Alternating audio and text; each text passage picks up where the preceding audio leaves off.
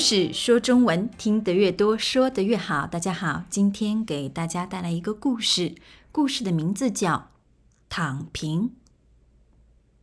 躺平。这一期的节目由我们的 patrons 赞助和完成，在这里感谢你们，我们的 patrons，没有你们的支持就没有这一期的故事。没错，谢谢你们，谢谢我们的 patron 们。下面来听故事《躺平》。躺平。二零二一年四月，在百度贴吧里。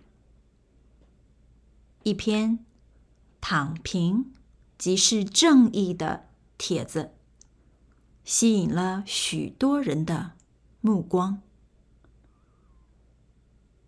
两年多没有工作了，都在玩儿，没觉得哪里不对。压力主要来自于身边人的互相对比。和长辈的传统观念，人大可不必如此。这篇帖子在网络上获得了大量的转发，作者本人也因此被称为“躺平学大师”。简单来说，躺平就是降低欲望，不长期工作，低成本生活。这种躺平的日子得到了很多年轻人的认同。产生这种现象的原因很多。从大环境来说，就是年轻人发现他们的生活已经失去了奋斗的意义。只要我躺得够快，资本就剥削不到我。许多人纷纷这样附和。还有人说，不想为了别人而生活，自己想要怎么舒服怎么来。我不追名逐利，但也不认为社畜生活就是好的。也有人说，我每日只吃两顿饭。每年只工作两个月，每月只消费两百元，其余日子躺平。很多人认为躺平不是个好现象，年轻人应该奋斗、打拼、赚钱，然后。结婚、买房、生娃才对。但无论是躺平还是奋斗，都是一种个人的人生选择，谁都无权干涉。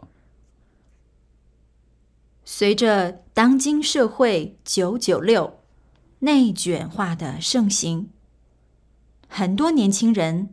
不得不重新审视自己的价值观，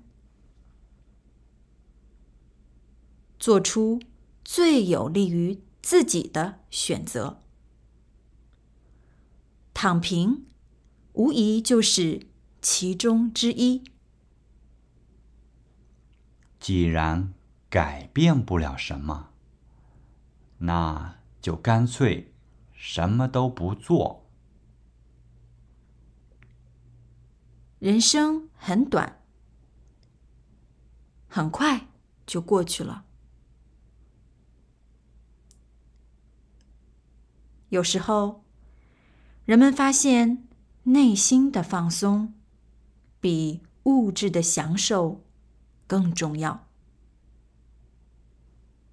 你怎么看呢？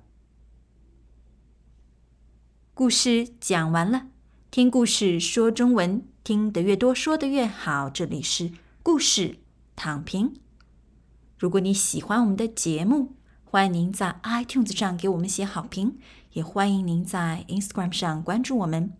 我们得到的好评和关注越多，就有越来越多的人知道《听故事说中文》这个节目。